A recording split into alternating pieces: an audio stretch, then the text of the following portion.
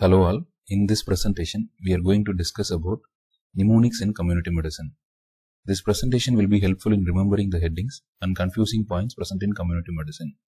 This presentation consists of nearly 16 slides which is compiled based on the mnemonics which I have come across and through contributions from my friends. This presentation may not cover all the mnemonics which are available. If you feel that I have missed out any good mnemonics which you know, please post that mnemonic in comment section. We can try import those mnemonics in next part of this video. If you haven't subscribed to my channel, please subscribe. So we are moving chapter wise from the beginning. So first is this mnemonic in epidemiology. So all the 16 slides of my presentation have been arranged chapter wise. So this is a mnemonic from epidemiology. This is criteria for judging causality. This criteria is called as Hill's criteria or Bradford's Hill's criteria. This consists of six criteria which is uh, given here. So it is uh, temporal association, strength of association, specificity, consistency of the association, biological plausibility, coherence of the association. As we all know, these individual headings can be understood easily, but while writing in exams, we may miss some of these headings. For this, we have created a mnemonic that is toxic shock syndrome, check BP continuously. T stands for temporal association, S stands for specificity, one more S stands for strength of association, check C stands for consistency, BP that is biological plausibility here, continuously C stands for coherence. So that this is for the criteria for judging causality. In exam it will be called as Hill's criteria for judging causality or Bradford Hill criteria. Next chapter is screening. That is here in sensitivity and specificity we have many confusions in formulas deriving the formulas. So in the earlier presentations I have mentioned it is always better to keep this phrase remembered. That is sensitivity is defined as positivity indices. That is, sensitivity is the ability of the test to detect true positives among the deceased. Specificity is negativity in health. You have to remember this phrase negativity in health for specificity, positivity in disease for sensitivity. So here it is the ability of the test to truly detect the negatives among the people who are healthy. So in predictive values, the most important thing is all the formulas will be having P's. So positives will be here. In negative predictive values, all the formulas will be negatives. In all these four formulas, we have trues on the top. That is true positivity, true negativity, here true positivity, here true negativity. So all these formulas you have to, when you are writing, you have to check whether the truth is on top. In real life also, truth will be valued above everything. So here, for the four formulas, for the four entities, we have this truth on the top. So positivity in this is, so all p's means positive predictive value, all n means negative predictive value.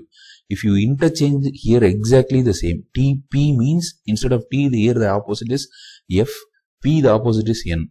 So then you have to, for sensitivity and specificity, you have to exactly opposite the numerator and also you have to include the numerator for the denominator.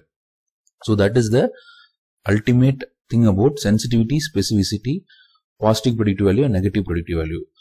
When the test has good uh, sensitivity, then we use it as a screening test. When the test has good specificity, we use it as a confirmatory test. Here the sensitivity, sensitivity for example in HIV, ELISA is a good uh, screening test because it has good sensitivity. Western blot test is a confirmatory test because it has good specificity.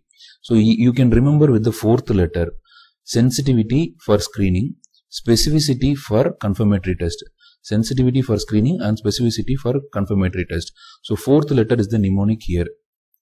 Specificity specificity for confirmation confirmatory test and sensitivity for screening test. And we have one more mnemonic with the fourth letter. That is uh, we we all used to get confused between these vaccines live vaccines and killed polio vaccine. So we have to remember Salk and oral so oral l will be live polio vaccine. Salk K will be killed, killed polio vaccine. So oral live polio vaccine by Sabin, killed polio vaccine by Salk. that we have to remember. For polio virus strains, OPV 1, 2, 3. So OPV 1, 2, 3. So OPV type 1 is mostly involved in outbreaks of paralytic polio, which is still prevalent in this world. Type 2 and type 3 has been already eradicated. Type 2 was the first to eradicate. P OPV, so 2 is a potent antigenic strain which was eradicated from the world prior to this type 3. So type 3 has been recently eradicated. OV, which is most commonly associated with vaccine associated polio. So type 1, type 2 and type 3 OPV. So O stands for more outbreaks causing more outbreaks which is type 1. Most potent is type 2 and most uh, strain causing vaccine associated polio is type 3.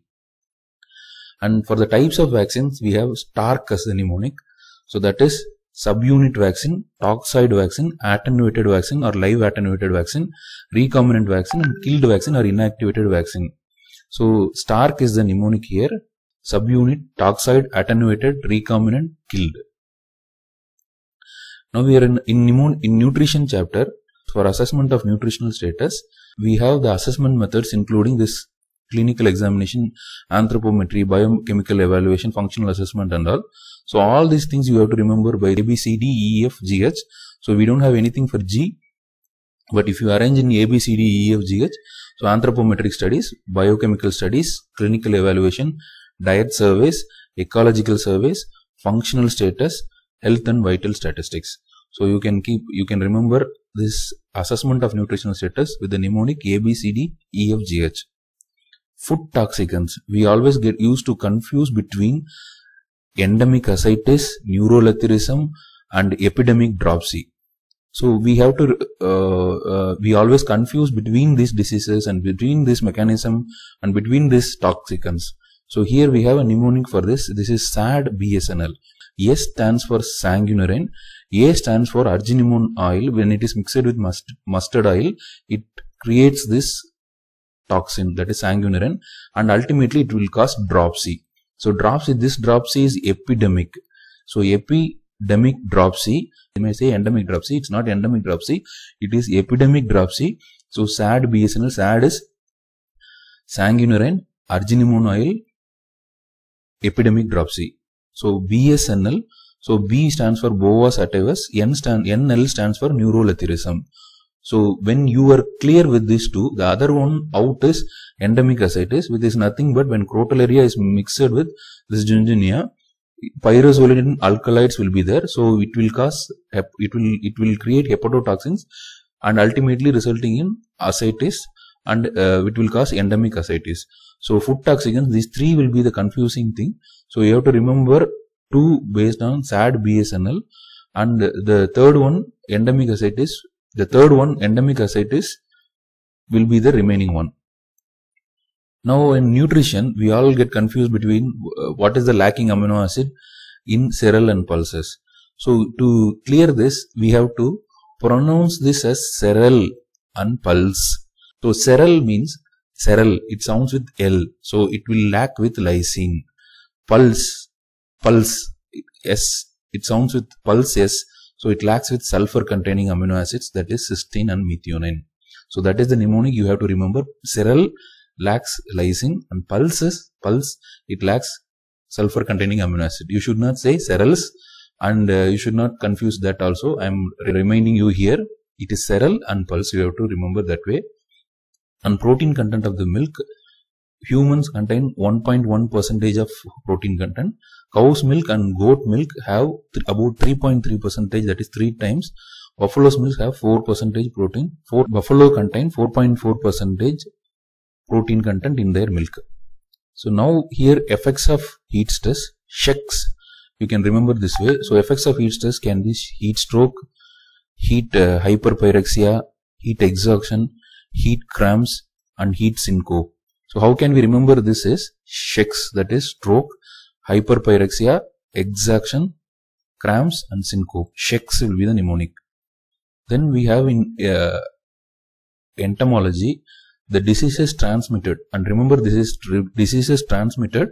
This is not diseases caused. So uh, mosquitoes will be dealt in the next slide.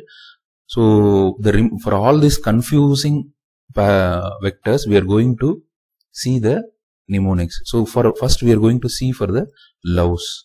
Louse can be remembered with PERT, mnemonic PERT. That is for P stands for pediculosis, E stands for endemic typhus, R stands for relapsing fever, and T stands for trench fever. Diseases transmitted by rat flea. It is given by the mnemonic bench. So bubonic plague, B-E-E-N stands for endemic typhus, C stands for chiggerosis, Hymenolepis diminuta, H for H. So rat fleas can be remembered with the mnemonic bench. Uh, the louse can be remembered with pert. Next we are moving to mite. Mite is see all we all remember we can remember itch mite can uh, uh, it, itch mite causes scabies that is a known fact. The other mite is the trombiculate mite. So we have to remember it as missus. So M stands for mite, R stands for rickettsial pox, S stands for scrub typhus. Missus M stands for mite, that is trombiculate mite, not your itch mite. Itch mite will be caused by scabies, that you can remember clearly. And diseases transmitted by soft tick is QRS. Q stands for Q, Q fever, R stands for relapsing fever, S stands for soft tick. So where is the soft tick here? It stands for QRS. That is Q fever, relapsing fever is caused by staph soft tick. QRS. So then we have diseases transmitted by SANS. It is uh, it is KOOS that is K O O S. K stands for Kala-Azar. O2O we have Oriental sore and Oroya fever. S stands for sandfly fever. Here we can remember the sandfly. KOOS as the mnemonic K O O S. Tsetse fly. Tsetse fly as the name indicates it is C for sleeping. So you can remember it is easily. Black fly or onchocerciasis. Reduviid bug, Chagas disease. These are all uh, are unique diseases. You don't have to uh, confuse between these things. And uh, this hard tick also you have to remember by your own. Uh, because if you remember these by a mnemonic, this hard tick will be uh, left uh, one. So this group of diseases such as uh, tick typhus, viral encephalitis, viral fevers, viral hemorrhage fever, Kyasanur forest disease, tularemia, tick typhus, human babesiosis can be caused by hard tick. Hard tick will be confused with Q, uh, soft tick. So here we have to remember the mnemonic QRS.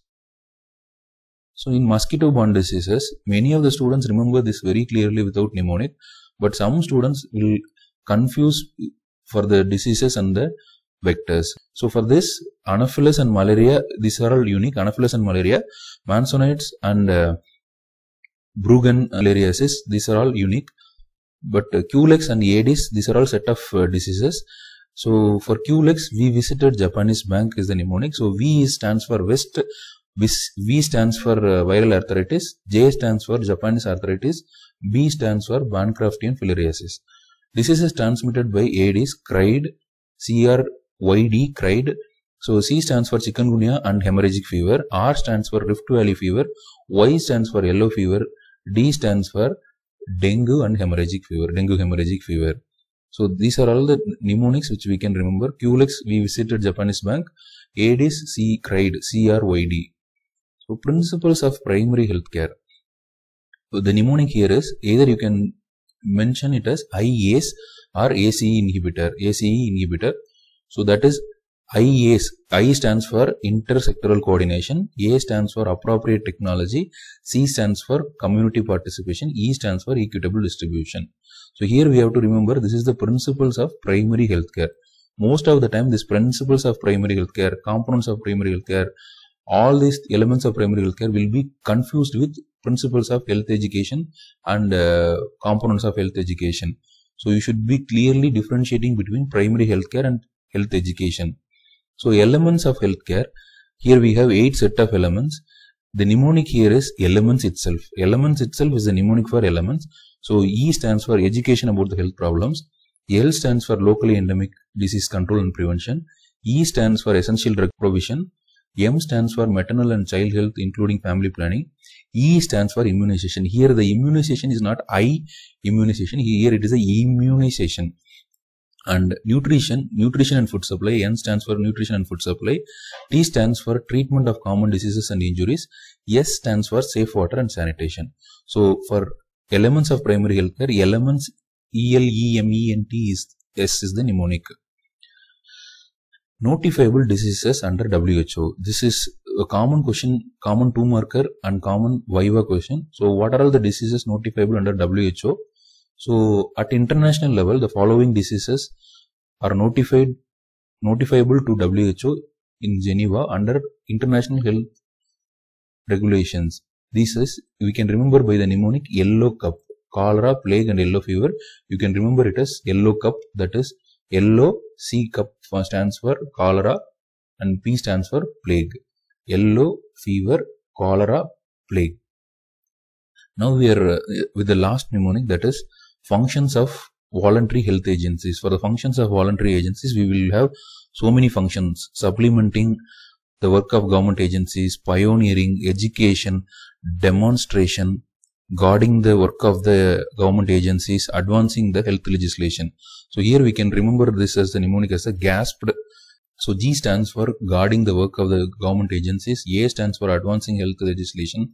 Supplementing the work. S stands for supplementing the work of government agencies. P stands for pioneering. E stands for education. D stands for demonstration. So this is gasped for functions of voluntary health agencies.